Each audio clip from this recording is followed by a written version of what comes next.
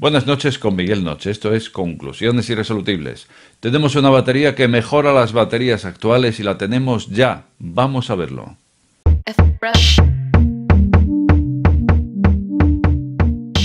Conclusiones Irresolubles con Miguel Noche. Bueno, ¿cuántas veces hemos hablado aquí sobre baterías que mejoran la actual batería de litio? Un montón, ¿verdad? Un sinfín de veces. Baterías venideras que están llamando a la puerta, que todas son maravillosas, pero que ninguna consigue atravesar el umbral de esa puerta.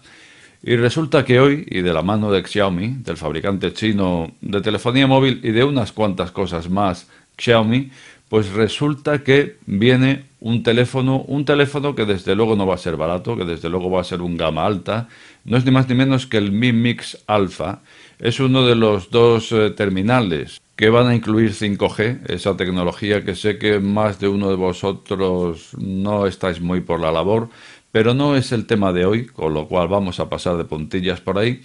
Es un terminal que desde luego, como digo, no va a ser barato, no va a bajar de los 2.000 euros, de hecho sí que va a subir de los 2.000 y creo que hasta los 2.500, porque estamos hablando de un terminal que, como digo, eh, será de los pocos que integrarán tecnología 5G, pero además eh, resulta que la pantalla es totalmente novedosa. Es una pantalla que envuelve por completo al teléfono en sus 360 grados, excepto una pequeña banda que es la que aloja la cámara y una cámara que tampoco hay que pasar por alto porque va a ser ni más ni menos que de una resolución de 108 megapíxeles.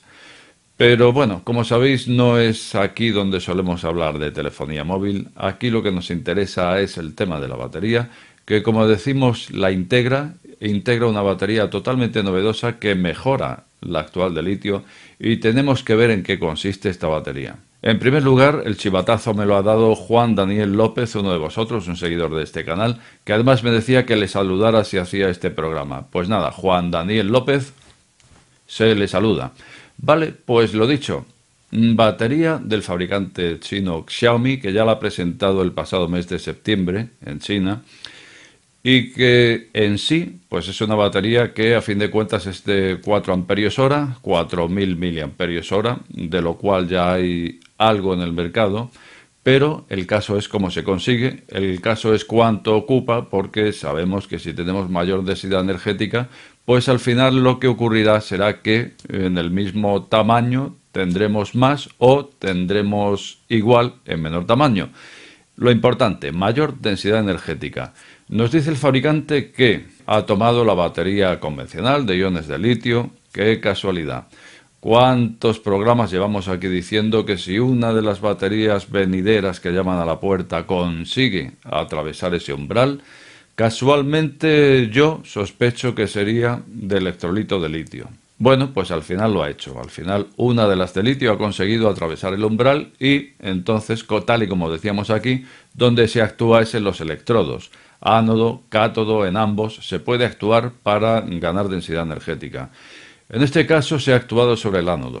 Recordamos que en el último programa que hicimos hablábamos sobre la nueva batería que va a presentar Nikola Motors y que había actuado sobre el cátodo.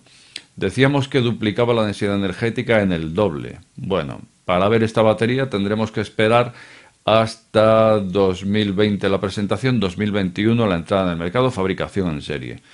Vale, va a ser duplicar lo que tenemos, pero hay que esperar hasta 2021 para verlo. Sin embargo, lo que nos presenta el fabricante Xiaomi es para diciembre, es decir, ya dentro de unos días, porque lo que queda de noviembre es nada y menos. Así que creo que por primera vez en la historia aquí os estoy hablando de algo de tan corto plazo como de aquí a unos días que vamos a poder ver por fin una batería de estas características. ¿De qué características? Pues en principio se ha actuado sobre el ánodo. Vale, se actúa sobre el ánodo para ganar un 40% de densidad energética, un 40% de capacidad respecto al mismo tamaño de batería. ¿Y qué tipo de ánodo es el que se emplea? Pues en este caso de silicio, nanosilicio, silicio en definitiva. Bueno, pues ocurre que tampoco es nueva la tecnología. Ocurre que se llevaba muchos años maquinando sobre este asunto distintos fabricantes, sobre los electrodos de silicio para ganar en densidad energética.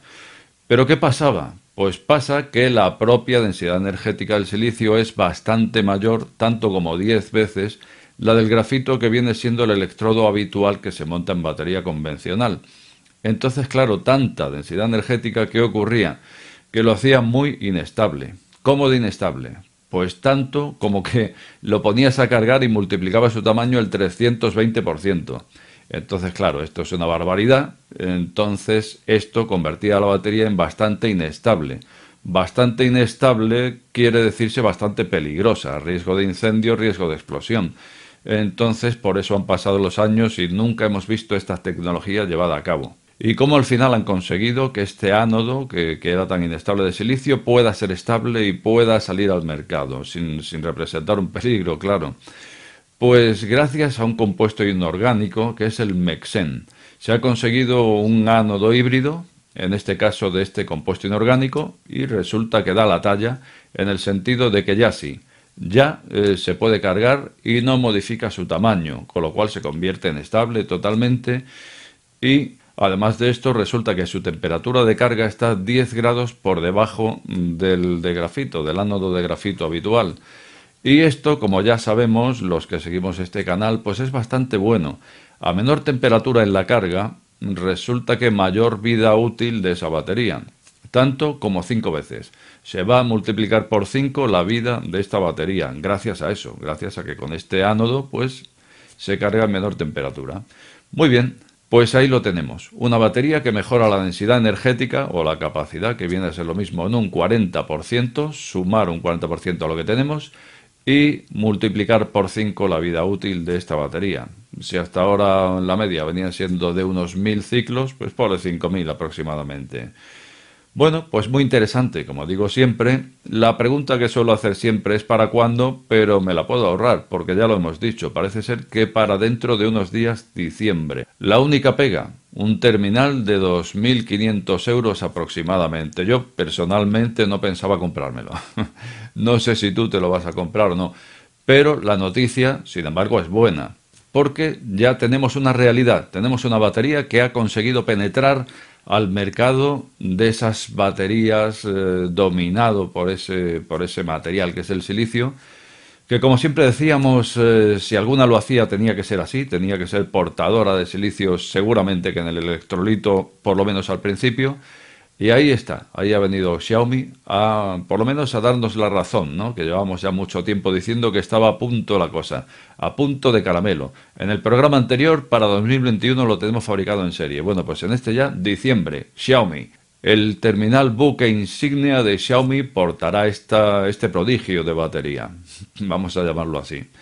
Bueno, pues me gusta daros buenas noticias, creo que lo es, aunque ni tú ni yo nos vayamos a comprar ese pedazo de móvil eh, ya ves, una, una, cámara de 108 megapíxeles. Eso ya, ya está la cosa bastante afinada. ¿eh? No quiero ni pensar lo que pesará una foto de esas a la hora de mandarla por ahí en mensajería, por un WhatsApp o demás. Fotitos aparte, lo que nos interesa esta noche es la batería, una gran batería que parece ser que podremos ver para dentro de unos días. A ver si es verdad, la compremos, no la compremos, que por fin tengamos en el mercado una batería que haya mejorado en un 40% la densidad energética y en un por cinco la vida útil de esta misma. Como de costumbre te invito a que me dejes tu opinión más abajo y también decirte que si has llegado hasta este canal no te suscribas o suscríbete. Al final, la última palabra la tienes tú. Buenas noches con Miguel Noche. Este programa está sujeto a posibles correcciones. De ser así, estas serán publicadas en la descripción del mismo.